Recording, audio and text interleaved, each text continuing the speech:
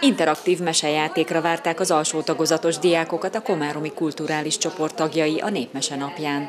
A közösségi házban mintegy 150 gyermek ünnepelte a jeles napot, melynek célja, hogy felhívja a figyelmet a hazai népmesekincs értékeire, valamint a mesékben fellelhető egyetemes örök értékeket, bölcsességeket átadják a legfiatalabb nemzedékek tagjainak. A fiú csak kurujáját fújta, táncolt a bárány, bárány szűrjén a leány, leány farán a lapán, lapán végén a sütőasszony, sütőasszony farán a pálca, pálca végén a pap, pap után a katona, katona kezében a kantárszár, kantárszáron paripa, paripa farán vászon, vászon végén takács, takácsától kapta, kapta végén varga. A Komáromi Kulturális Csoport elsődleges feladata a kultúra népszerűsítése és a közösségfejlesztés. A Népmese napja kapcsán fontos küldetésük, hogy a gyerekeket korán bevonják a kulturális életbe, és egy vidám hangulatú játékkal maradandó élményt nyújtsanak Benedekelek születésnapján.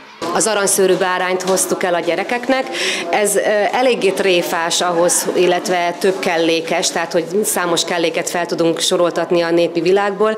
Illetve ami fontos, hogy ezt a napot szerettük volna valóban tanulságossá is tenni, ezért segítségül hívtuk Toma Juditot, a Garabonciás Néptánc Együttes oktató tanárát, illetve a Garabonciás Néptánc Együttest, ugyanis a, a csoport, a néptánc csoport ugye tényleg talán a városban azt kell mondjam, hogy az egyik legautentikusabb hagyományőrző formáció, akiknek sokat köszönhet a város, és hát az meg még nagyobb, még nagyobb dolog talán, vagy még nagyobb lehetőség, hogy a fiatal a fiatalnak, a gyerek a gyereknek ad át tudásanyagot, úgyhogy egy népviselet bemutató kapcsolódik a mai alkalomhoz, és tánc, néptánc a javából.